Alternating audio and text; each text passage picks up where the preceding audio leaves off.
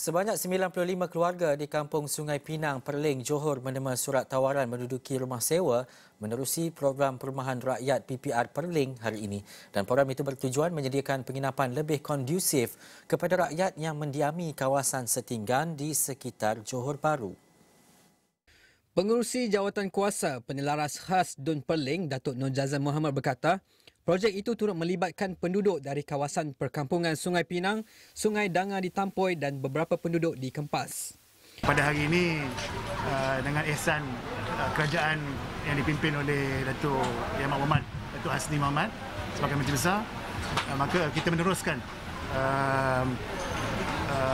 projek-projek memberikan rumah yang selesa kepada uh, penduduk uh, Setinggan supaya mereka akan mendapat uh, merasakan ya, um, perumahan yang lebih selesa.